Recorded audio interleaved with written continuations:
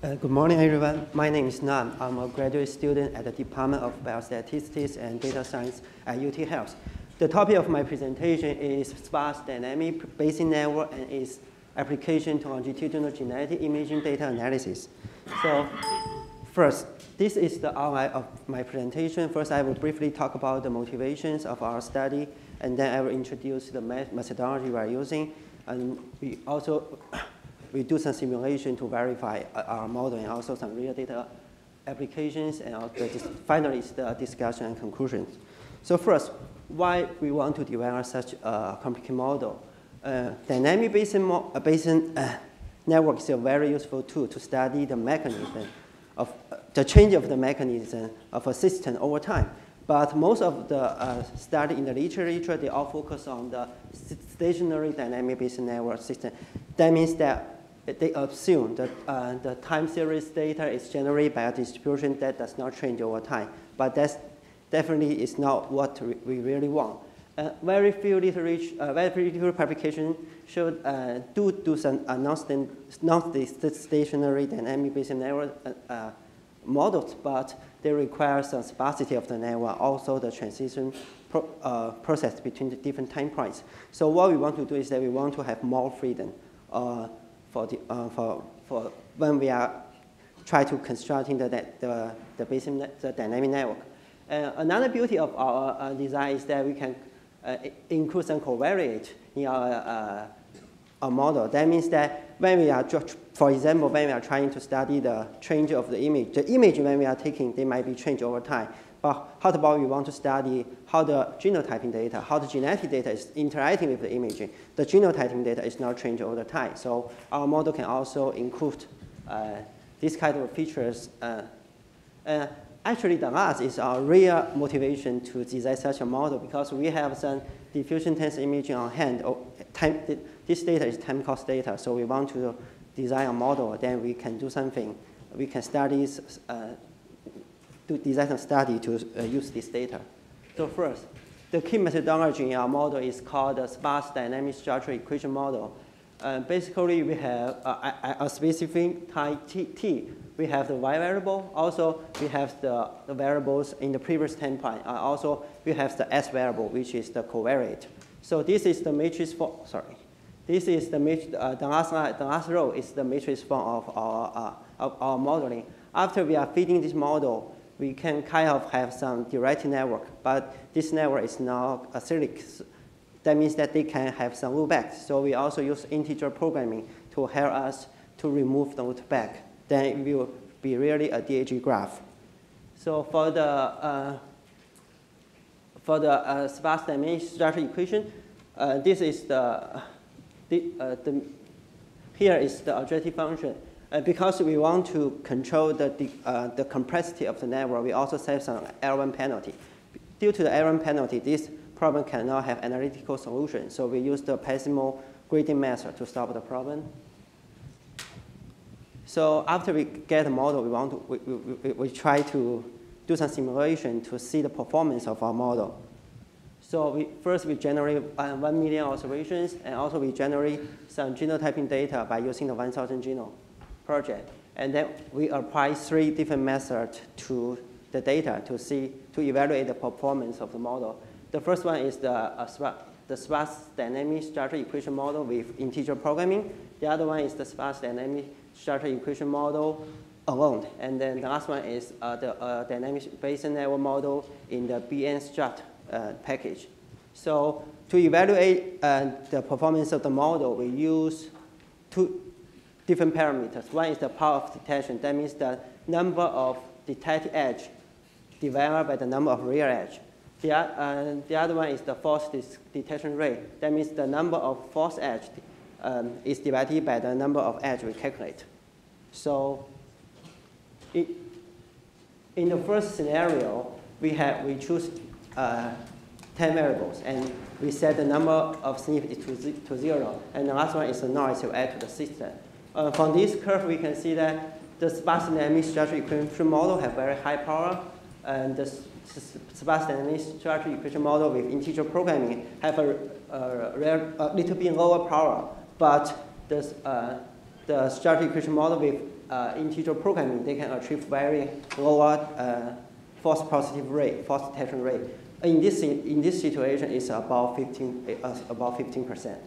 So we further increase the number of variables, we keep all the situations the same, we can see the performance is similar. And then we also want to see how about the noise. How about the noise play in, uh, will affect the performance of, of our model. So we further increase the level of the noise. We see that the performance is kind of consistent. And the structures, dynamic structure equation model still have very high power, and then the performance for the power performance for the structure, sparse dynamic structure equation model with integer programming is, is uh, a little bit lower than the SDSE alone, but the uh, false detection rate is, very, very low in the sparse dynamic structure equation model with integer programming. So we keep increasing, as similar, we increase the number of variables, we see the pattern is very, it, it is kind of consistent. So next we want to do is that we want to add some SNPs, we want to add some covariate. So we generate 10 SNPs from the 1000 genome project, and then we add to the model. Because the, the, the package I'm using to compare, they cannot include the covariate, so I just only compare the, the, the two methods we are developing. Uh, the chain is the same. The, S, the SDSE trying to have the highest power, but the SDSE with integer programming can achieve very low the false detection rate. In this situation, the, uh, the false discovery rate is uh, just about 0.8%. And then we, keep, we try to increase the number of variables, and the trend is similar. And it looks like the, when we are trying to in, in, include some covariance in our system, that means that we can borrow some more information from outside, then the performance of the false, uh, false discovery rate can further improve. So now we have a model, we, uh, we believe that its, uh, its performance is reasonably well, and then we try to apply our model to study some real-world problems. First, and this is the data we get. We get some diffusion tensor imaging data at, at five different time points. It's baseline, three months, six months, 12 months, and 24 months. We download the data from the ADNI, the ADNI data set, and in total, we have about 200, after the data cleaning, we have 228 individuals. And the, a single image dimension is, is 110 by 110 by 110. And then each voxel is about a 2 millimeter qubit. So but when we have the data, the first thing we need to do is to, we need to deal with the missing, missing values, especially for the imaging data. Some people come at the baseline, but they may not come at the follow-up. So we have a lot of uh, missing image. So we need to figure out a protocol to deal with the uh, missing image. So in, the, in our study, we decided, uh, we used the strategy combining the 3D functional principal component analysis and also the matrix completion to deal with uh, this scenario. And this is objective function for the functional, 3D uh, functional uh, principal component analysis. And the constraint, the first constraint is kind of normalize the direction when we are trying to get the, uh, try to get the direction that can the variance. The second, the second, the second constraint is kind of penalty for the smoothness of the curve. So, and then we use matrix completion, then we can borrow the information for all the adjacent time points, and then we can try, use it to do the imputation of our image. So, I, so now I, I, let me show you the performance of image, image imputation. First, this is the, statist, uh, the basic statistics for image data. Only at the the baseline have all the image, and the missing rate at all the other time points is about 50%. So in our uh, uh, imputation test, we, we, we first extract all the 64 individuals. They all they have the data in all the five time points, and then we split them into training and test data set. In the training data set, we have 34 FA image, FA image, and in the test data set, we have uh, 30 FA image. And then we do the 3D FAPCA and we do the uh, matrix completion. So this is the one, one slice of one image in the 30, in the test image data set. And then after imputation, we get kind of uh, image can, we get an imputed, imputed image by only using the first FPC scores. And then we can see that we do miss some details of the, uh, of the original image, but generally speaking, I think we can capture most of the information. So we believe that uh, this, re, uh, this result is good enough for us to do the following analysis. So after that,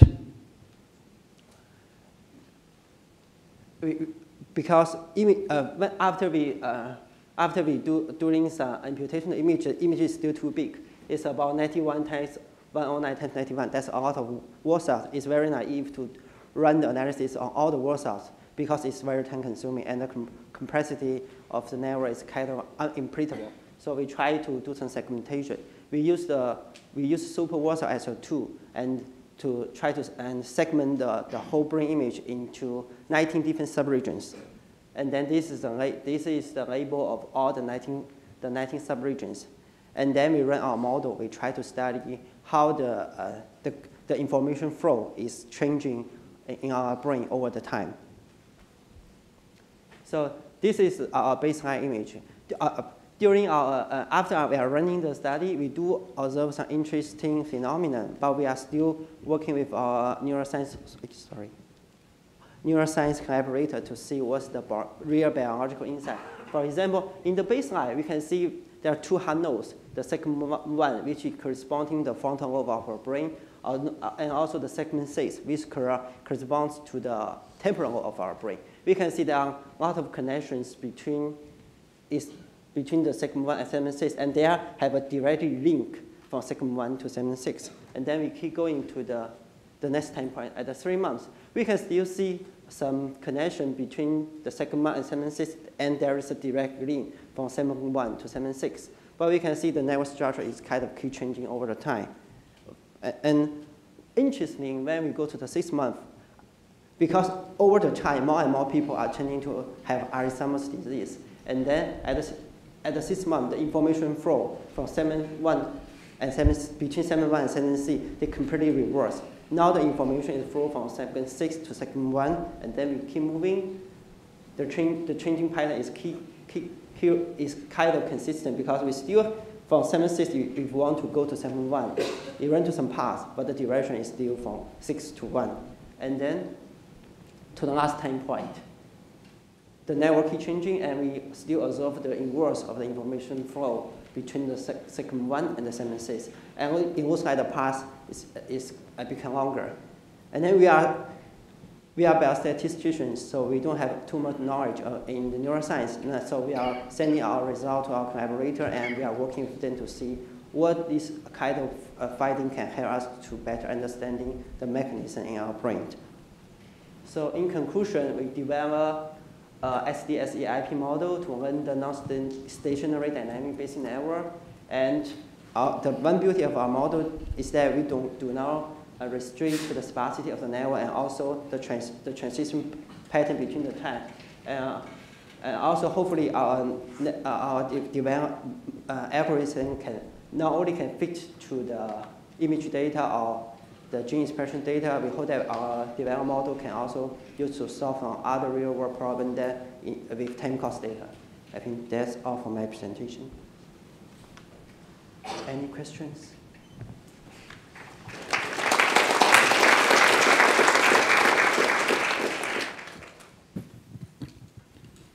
So questions for our speaker?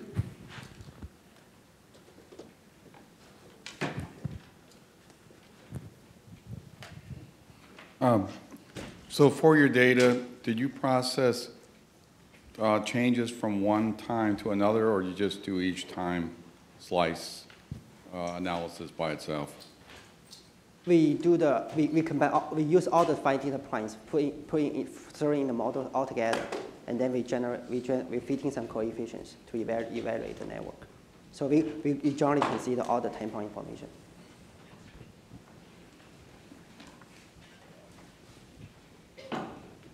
Other questions? Other questions? So I have a question. So have you looked at using this in any other data sets other than uh, MRI imaging? And this is the first data we are using, exploring, and I think in very soon we'll try, we also try to use this um, model to apply to the gene expression data. Then we will further see how's the performance looks like. Very interesting. Okay, let's thank our speaker one more time.